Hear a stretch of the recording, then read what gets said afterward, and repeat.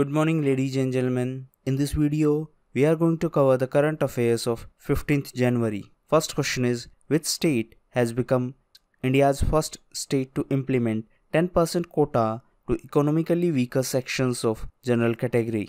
Right answer is Gujarat. Gujarat is the first state in India to implement 10% quota for economically weaker sections of general category. This has become applicable from 14th January 2019. If we talk about Gujarat, recently Gujarat was the best performing state as per the state's startup ranking 2018. This ranking was released by DIPP. DIPP stands for Department of Industrial Policy and Promotion. Also, India's first railway university was started in Vadodara in Gujarat. Gujarat was the partner state of 2018 International Gita Festival. This festival held in Kurukshetra in Haryana. Mauritius was the partner country and Gujarat was the partner state. Also, the 2019 Vibrant Gujarat Global Summit will be in Gandhinagar. This will be ninth edition. Theme of this edition is Shaping of a New India and UAE will be the partner country.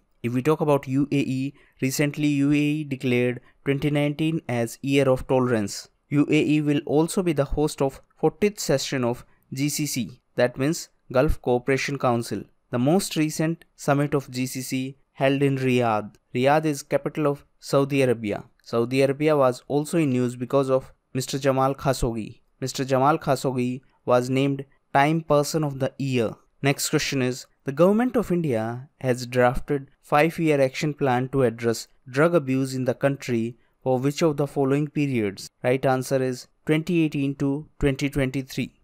The Ministry of Social Justice and Empowerment has drafted a 5 year action plan. This 5 year action plan is a strategy to address the problem of drug menace in our country. So the duration is from 2018 to 2023 and this draft is an initiative of Ministry of Social Justice and Empowerment. If we talk about drug abuse, 26 June is observed as International Day Against Drug Abuse and Illicit Trafficking. In India, NCB, that means Narcotics Control Bureau, is the nodal drug law enforcement agency. It is responsible for fighting drug trafficking and abuse of illegal substances. NCB was formed in 1986 and it is under Ministry of Home Affairs. Presently, Mr. Abhay is the Director General of NCB. Next question is which country hold the first ever annual disarmament and international security affairs fellowship program?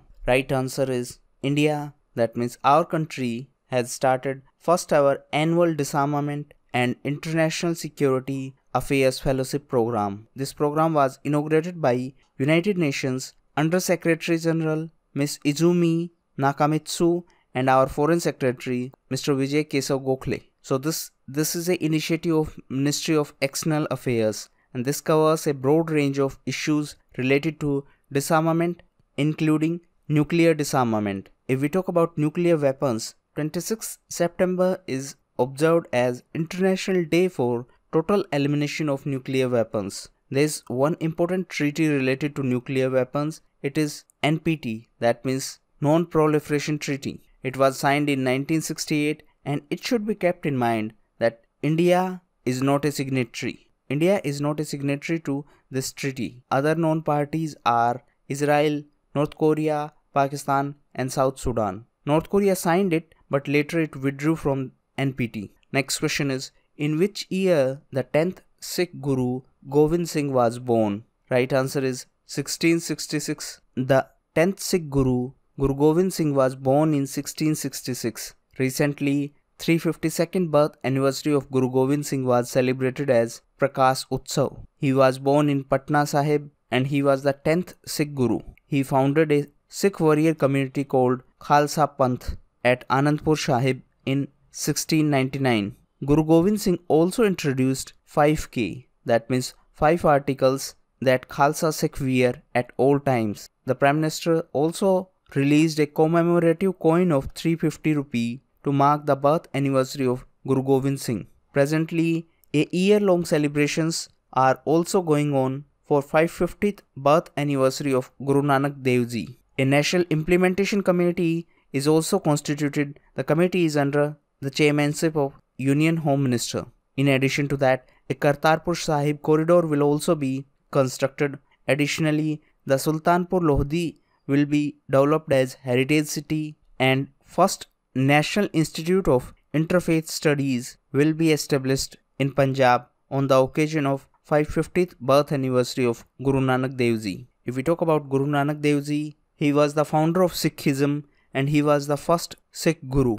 Next question is which of the following commands is the only tri-service theatre command of Indian Armed Forces?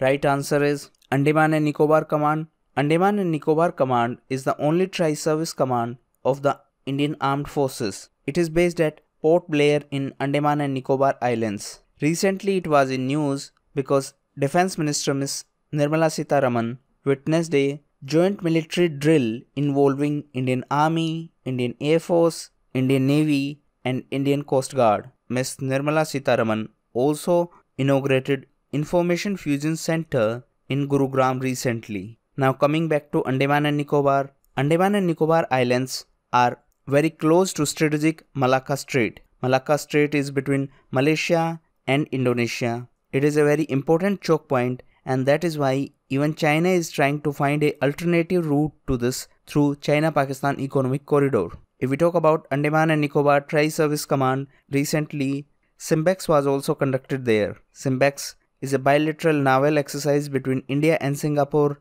The capital of Andaman and Nicobar is Port Blair and the Veer Savarkar International Airport of Port Blair has been recently declared as authorized immigration checkpost. Andaman and Nicobar is under the jurisdiction of Calcutta High Court. It is oldest high court in India. It was established on 1st of July 1862.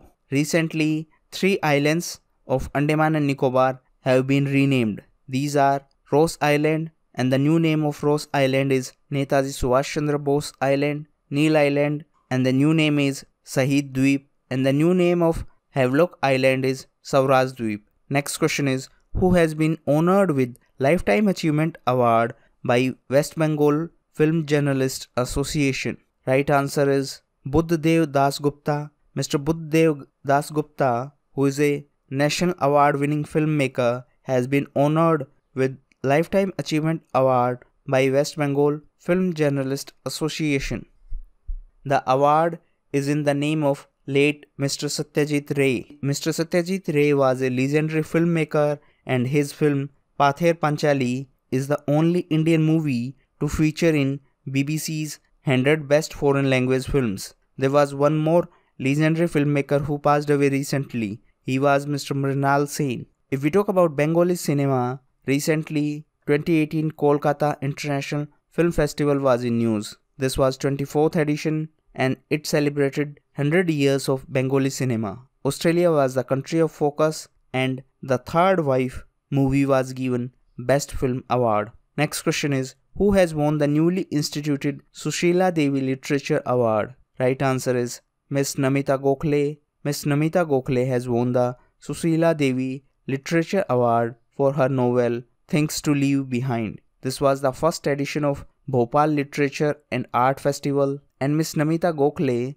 has won this Sushila Devi Literature Award in this festival. If we talk about Bhopal, it is in Madhya Pradesh and Madhya Pradesh government recently created spiritual department that means Adhyatmik Vibhag. Earlier, Madhya Pradesh government was the first state in country to form happiness department. Now that happiness department will be incorporated into this spiritual department. Also, Madhya Pradesh government recently conferred Tansen Samman to Ms. Manju Mehta. Madhya Pradesh government also started Pratibha Parv in all primary and secondary schools. Next question is which state government has launched one family one job scheme? Right answer is Sikkim. Sikkim government has started one family one job scheme. As per this scheme, one government job will be provided to every family in the state. However, it should be kept in mind that the government employment will be awarded only to the members of those families which do not have a government job at present. Sikkim was also in news because of universal basic income. The Sikkim Democratic Front has recently decided to include universal basic income in the election manifesto. with the objective to implement the scheme by 2022. The Chief Minister of Sikkim is Mr. Pawan Chamling and he is the longest serving Chief Minister of India. Sikkim recently got its first airport and the name of airport is Pakyong Airport. It was inaugurated by Indian Prime Minister Mr. Modi. Next question is who is the head of group of ministers on GST revenue shortfall faced by states? Right answer is Mr. Sushil Kumar Modi, Bihar Deputy Chief Minister. Mr. Sushil Kumar Modi will head the seven member group of ministers to look into the revenue shortfall being faced by various states following the rollout of GST. GST stands for Goods and Services Tax. This decision was taken during GST Council meeting. If we talk about GST Council, it is Goods and Services Tax Council. It is a constitutional body. It make recommendations to union and state government on the issues related to goods and services tax. The GST Council is chaired by Union Finance Minister and the recent that means 32nd meeting of GST Council held in New Delhi. It was chaired by Union Finance Minister Mr. Arun Jaitley. Presently, all states except Andhra Pradesh and five northeast states are facing revenue shortfall after the implementation of GST. These six states are Andhra Pradesh, Mizoram, Arunachal Pradesh, Manipur, Sikkim, and Nagaland. These six states have recorded revenue increase after the implementation of GST. In case of other states, they are facing the problems of revenue shortfall. Puducherry is facing the maximum revenue shortfall. Next question is which Indian personality is the recipient of first ever Philip Kotler Presidential Award? Right answer is Indian Prime Minister Mr. Modi. Mr. Modi was given first ever Philip Kotler Presidential Award for his leadership. If we talk about Mr. Philip Kotler, he is a professor of marketing and he is considered as father of modern marketing. If we talk about Indian Prime Minister Mr. Modi, he was also selected for 2018 Seoul Peace Prize. Mr. Modi and French President Mr. Emmanuel Macron were also given Champions of Earth Award. Thank you and that's all for the day.